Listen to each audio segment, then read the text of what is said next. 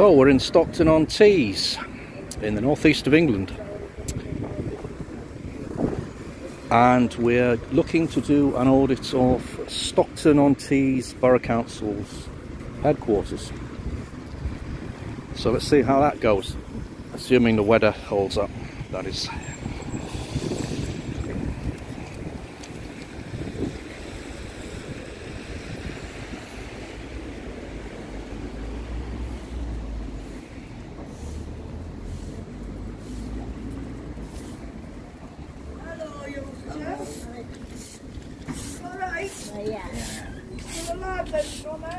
Summer? Look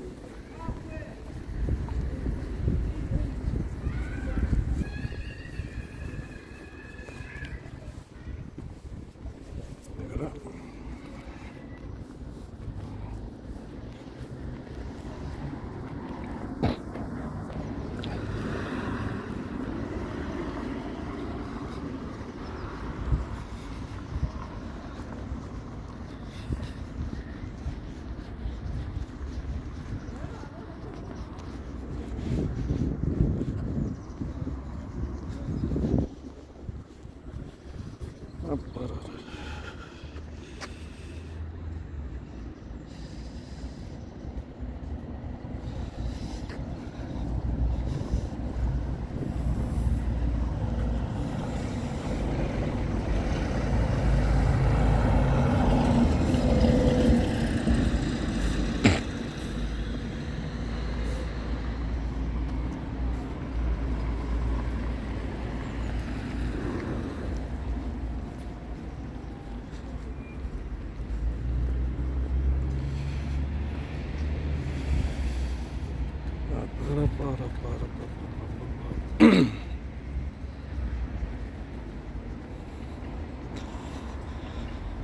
This is interesting little uh, series of sculptures here. They're whippets. And I think this, I'm not entirely sure, but I think the reason they've been put up here is because of the connection uh, with whippet rearing and maybe racing in this area. I mean, there used to be, if, if I recall this correctly, there used to be a whippet racing ground near here uh, in a part of Stockton called Tilery. Uh, I once visited there a couple of times. Uh, my my ex from Germany, she used to love it. She thought it was really a really quirky, a quirky thing. So yeah, it's interesting to see this here, a sort of commemoration of the local history of the place. It'd be interesting to know actually whether they still have uh, some whippet races in this area.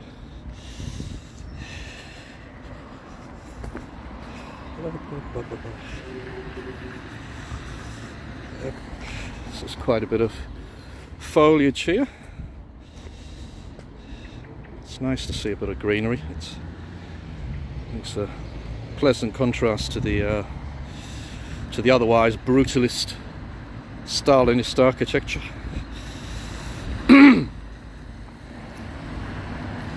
ah, here's a bike shed. That's interesting.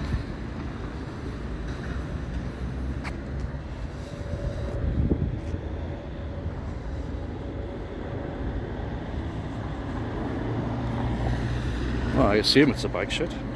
There's what look like mock spokes and wheels. I assume it must be. Ah. what have we got here? Seems to be one of the entrances. Let's have a look here.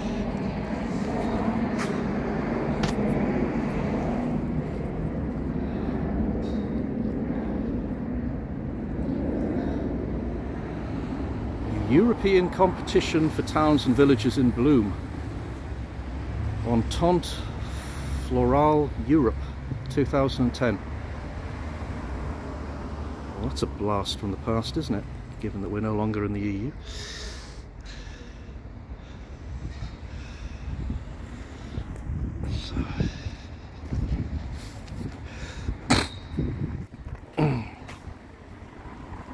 So we can see here the crest Stockton on Tees Borough Council. If we just zoom in there. There we are.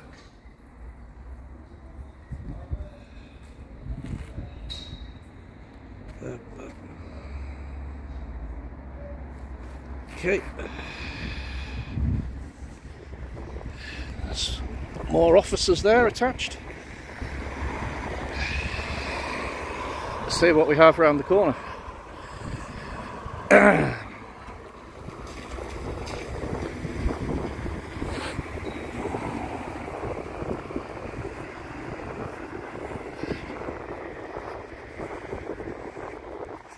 Okay, seems to be just a continuation of the same same wing of the building. Uh,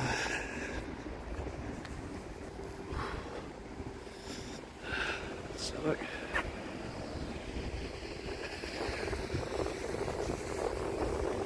Now we've got a Baptist church on the other side for the evangelicals amongst us.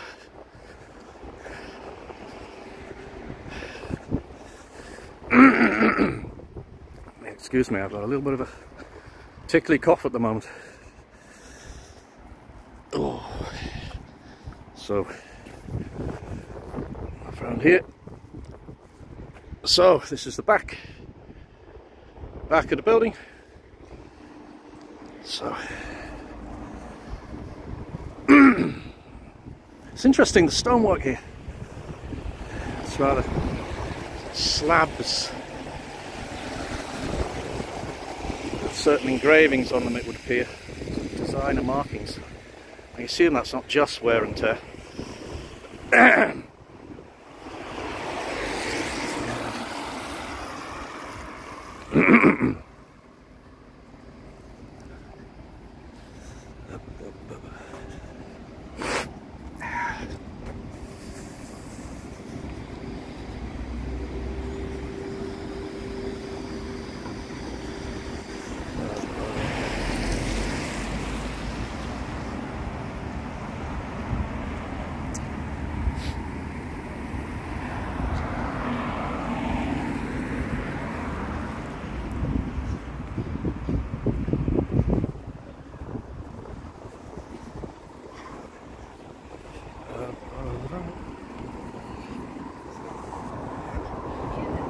There's a, a container for for grit. I never noticed that before.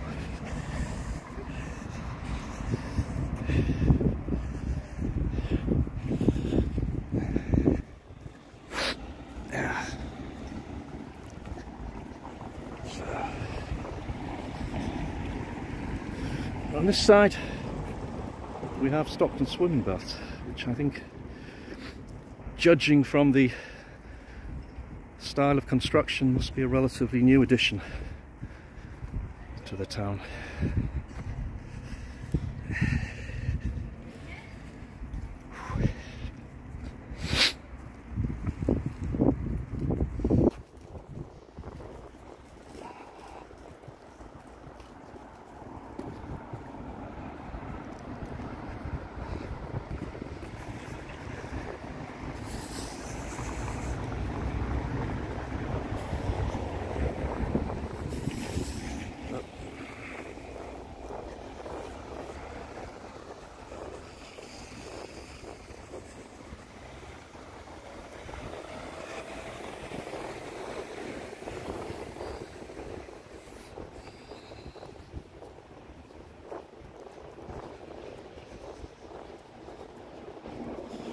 So here we have the main customer entrance uh, for citizens of Stockton-on-Tees. Is this actually open? Yes, it would appear it would appear to be open. Opening hours Monday are 8.30 to 6 p.m. So here we have a uh, defibrillator, if I can say the word, which I think is actually quite a useful addition to city centres these days. Um, you never know when you might need one. It's good to have a, it's, uh, let's just hope that there are people tasked with being able to use them inside. That would be my concern. Because I'm not sure I would be able to use one. Pretty sure I wouldn't, in fact. So.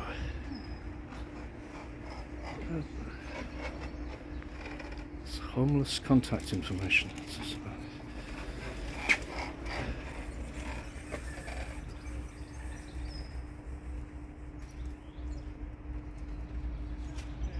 Uh,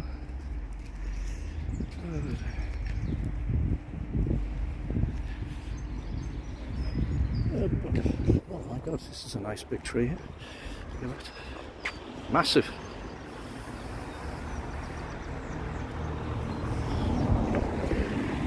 As I said, it's nice to see a bit of foliage around. It's most welcome. So you don't always have that in town and city centres. It's uh, very nice.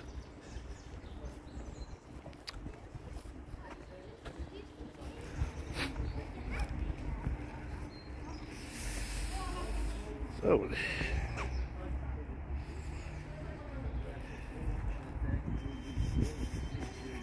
what do you have here? Stockton Parish Church. I think I assume that's the back entrance.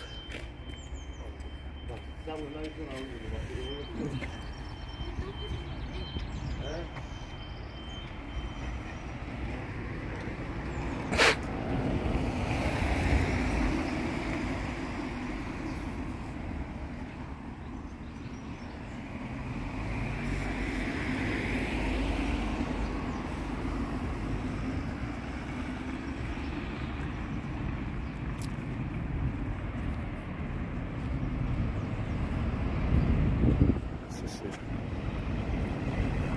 Bunzl. It's a company that's been around for a few years. Paper packaging, I believe, is their is the name of their game.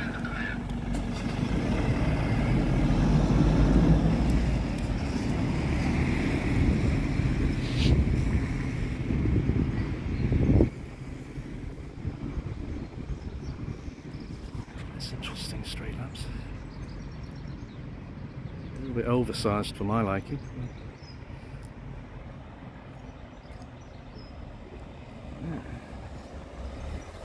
Yeah. Uh,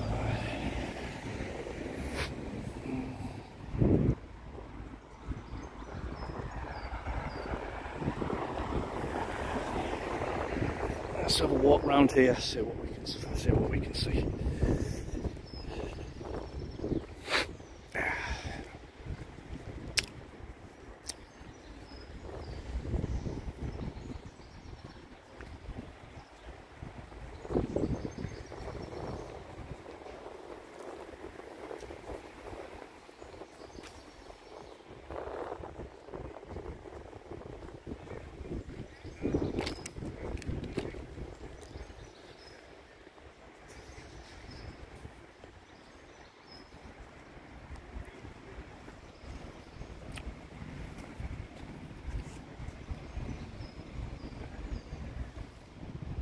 Sort of think of this as the old part of town, the Altstadt, if you will. There's not really much of it to speak of, but uh, it's probably the nearest you'll get to it. There's a few warrens and alleyways further up the high street, if anybody's interested in exploring them. Uh, but it's mostly rather kitschy boutiques and that sort of thing. It's not really my cup of tea.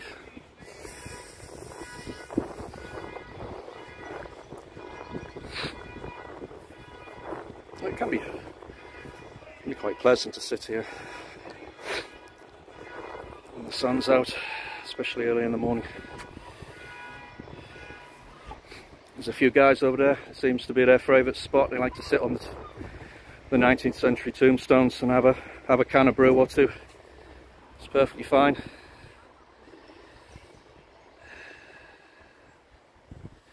Uh, ah. So, mosey down here.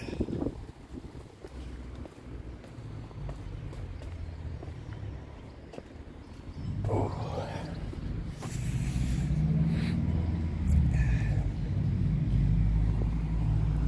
Ah,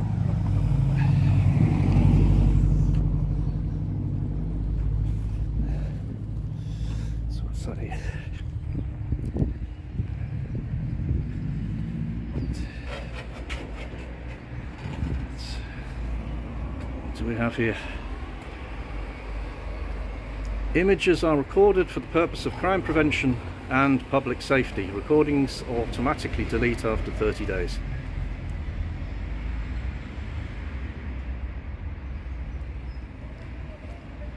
It's nice to know they're watching us, isn't it? It's a lovely feeling. So,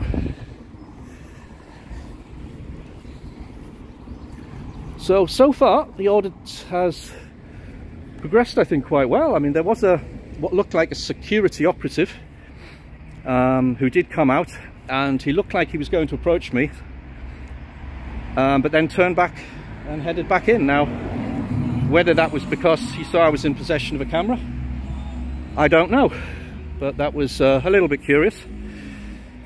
But other than that, no, it's uh, so far so good, I think. No grounds for complaint. No.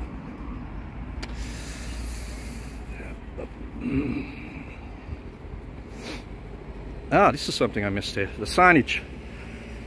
Old style.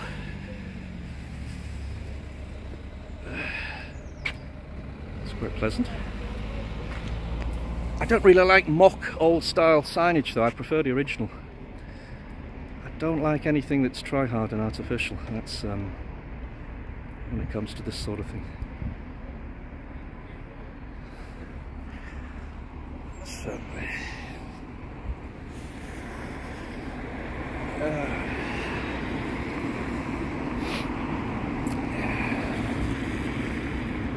so upstairs we see there's room for the internet for people who wish to use the internet I think it's just an internet suite and there may also be a cafe upstairs as well. All of the uh, book borrowing services I think that's on that's on the downstairs floor. Although I may be wrong.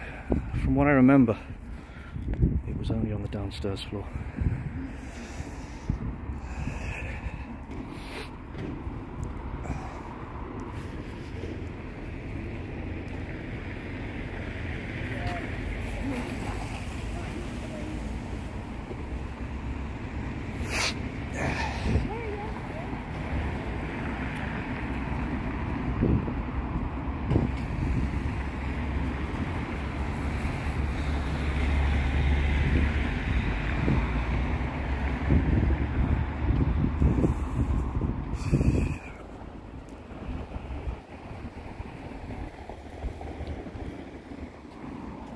here on this side.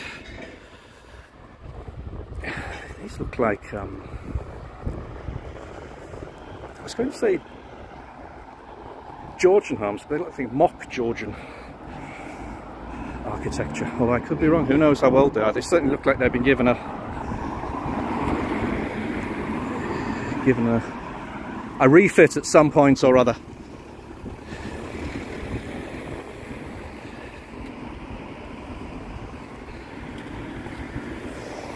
and here across the way this is also quite a new addition. This is uh what you can see there the Hampton Hotel Hampton Hilton. Excuse me. So I think that's been up for around 10 years or so. It's never been in there myself. Don't particularly care to. Assume it's probably just for people visiting. Staying here a couple of nights and then and then moving on out of town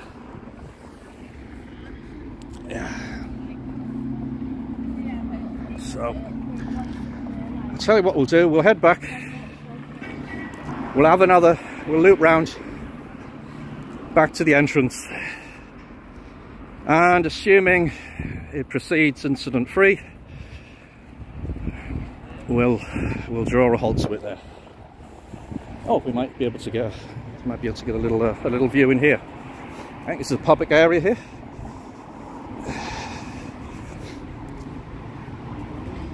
Let's have a look. Ah, yes. Ah, there's a reception. A reception area. Some nice seating, I can see there. It's rather comfortable. It actually looks much more pleasant from the inside than from the outside. I see a plaque here. It's hard to read that, right?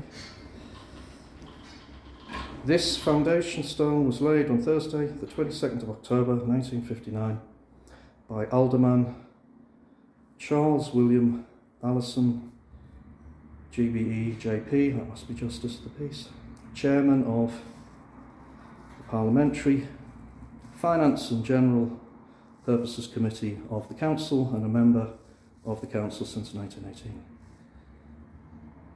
Okay. Here we just have some some bump that looks to be I don't know whether it's going to be collected or disposed of. Uh,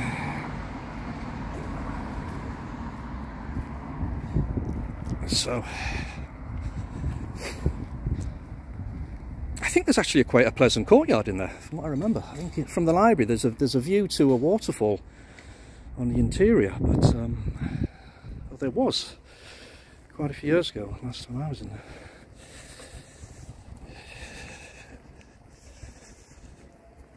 Ah. Oh, I'm getting stiff. In my old age.